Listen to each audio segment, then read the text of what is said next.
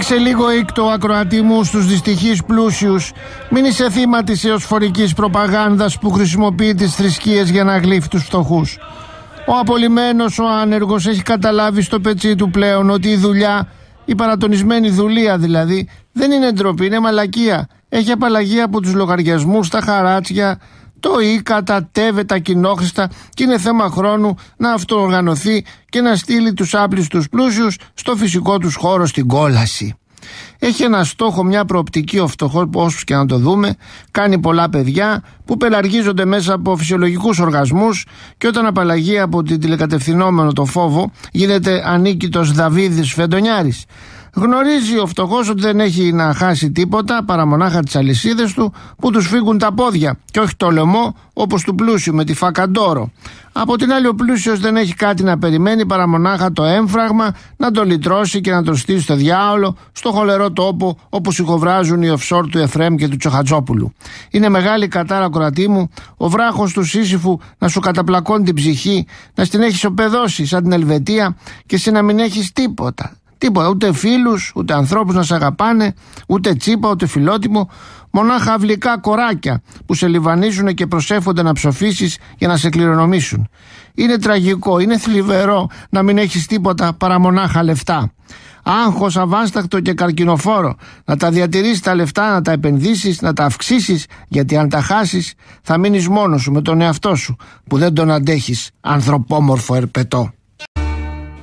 Εκτός από το βασανιστικό ερώτημα τι είναι η πατρίδα μας, μην είναι οι κάποιες, μην είναι τα άπαρτα ψηλά τεκνά που λιγορεύονται οι παιδοφθόροι, τα ευρωλιγούρικα βλαχαδερά, έχουμε και άλλα ερωτήματα εξίσου βασανιστικά, όπως το ερώτημα τι είναι η τέχνη, τι είναι τέχνη.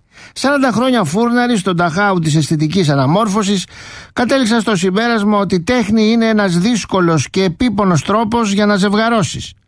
Με τα χρόνια γίνεσαι, γίνεται αυτό αιμονή, αυτός σκοπός και καταλήγει ανίατη αρρώστια. Ειδικά εδώ στο διαβολότοπο, στην καταληκτική μούτζα της Βαλκανικής Χερσονήσου, όπου τα τελευταία 2.452 χρόνια αποβασιλεύει η κοινωνική ανομαλία, ο Έλλην πολίτης εξαφανίστηκε από το 440 π.Χ. και τη θέση του πήρε ο Ρωμιό ο Ραγιάς ο Δουλοπρεπής. Οι καλλιτέχνες έχουν ξεφύγει τελείως, γίνανε πορνοί διαδίστακτα και το μόνο που τους ενδιαφέρει είναι να βρούνε πλουσιότερο ταβατζή.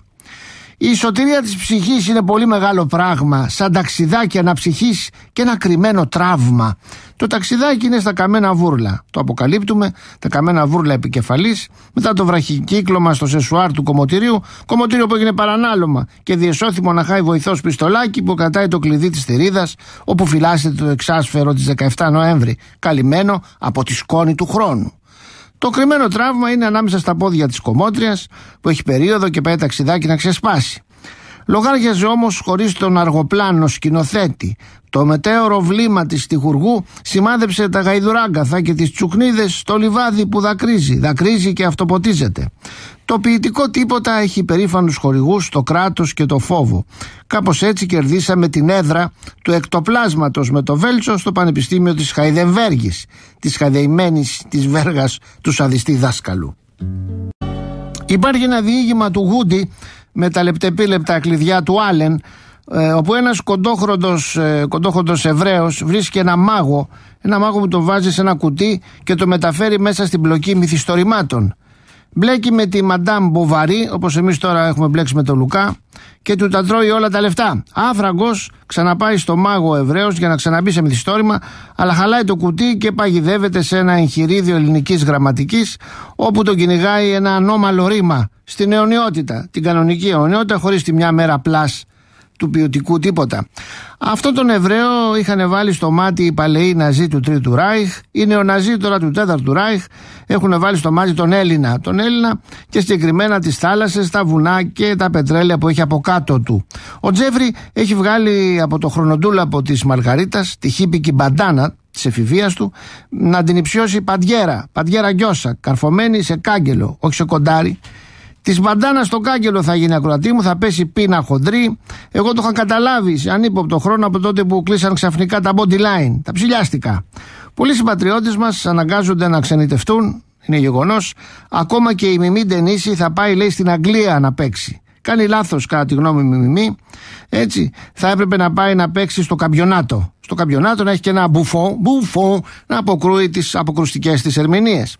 Τόσα χρόνια κλέβει την εφορία αυτός ο Λάκης ο Καβαλάς. Ο Λάκης ο Καβαλάς κλέβει την εφορία γιατί νομίζει τον βάλανε φυλακή τώρα.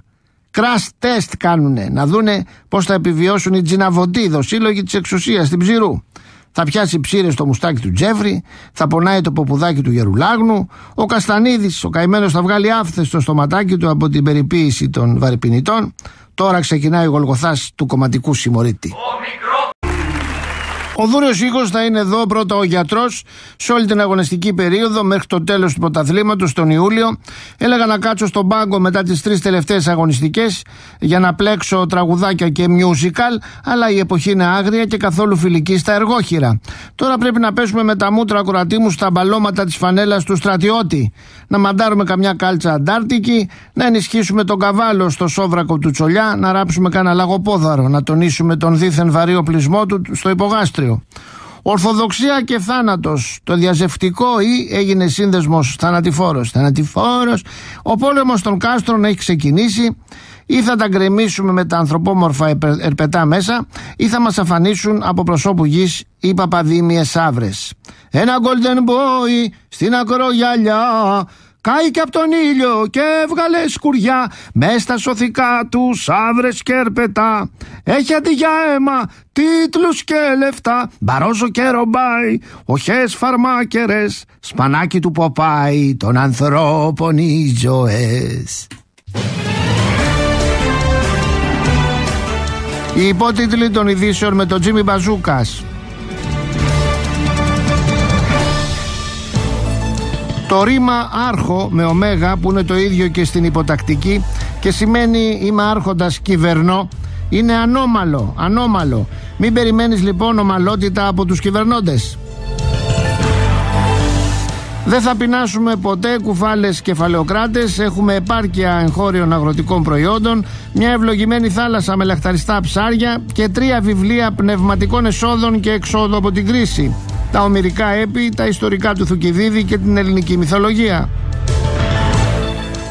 Δυόμισι χιλιάδες χρόνια μετά το Χρυσό αιώνα ήρθε ο καιρός να ξαναγίνουμε οι Έλληνες πολίτες επιτέλους να διώξουμε τους δοσύλλογους, τους κοτσαμπάσιδες και τους κατσαμπλιάδες και να ασφαλίσουμε την κεκρόπορτα που μπαινοβγαίνουν οι καλικάτζαροι από τα δυτικά.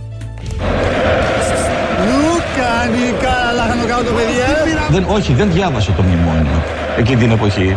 Γιατί απλούστατα είχα άλλες υποχρεώσεις και είχα άλλα καθήκοντα. Ομορφάντρα μου, δεν πειράζει. Δεν ήταν η δουλειά μου να μελετήσω το μνημόνιο. Δεν πειράζει. Σας είπα και προηγουμένως, δεν, όχι, δεν διάβασα το μνημόνιο.